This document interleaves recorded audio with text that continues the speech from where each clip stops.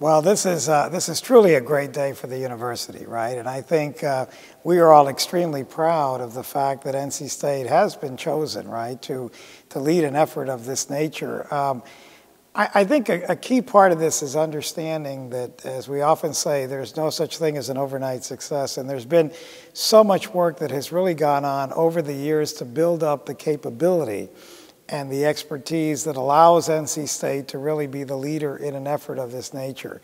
A lot of the work of our faculty, particularly in areas like electrical and computer engineering, uh, that has really built up the area of power devices and has led into this wide band gap semiconductor area, is something that NC State has to feel very proud of because there was a time not that long ago where there weren't a lot of efforts like these in university environments. And we made the investments, we brought the people in.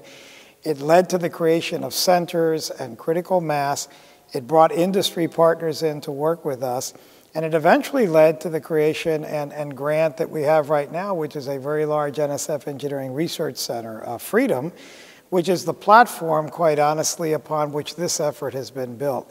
So I, I, think it's, it's, it's understanding that we're extremely proud of that, but we also understand that there was a significant effort that got us to this point to make us that unique, to make NC State that unique in the country, to make this area that we're in, with all the industry collaborators and the cluster that's behind this, so unique to where now we would be looked at as a clear, definitive leader in a technology that's, that's so critical, really, for the advancement of, of, of energy and sustainability in our country.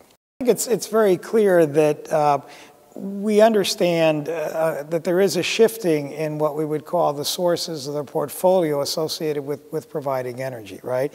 And, and we also understand the need to balance, uh, you know, the needs that we have in energy with environmental concerns and others. So that clearly moves us into the clean energy environments, the renewable energy environments, and so on. In fact, our NSF Engineering Research Center is focused on the distribution and management, actually, of renewable energy type sources.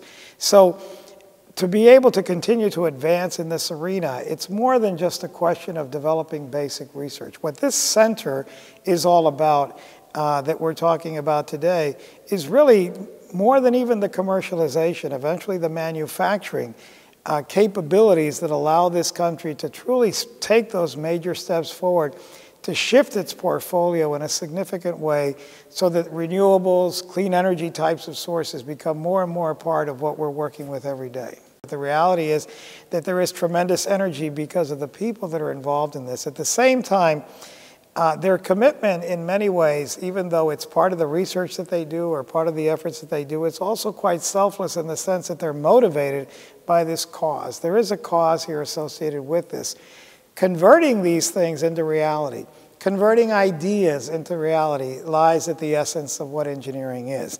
So in that sense, it is really right in our sweet spot as well.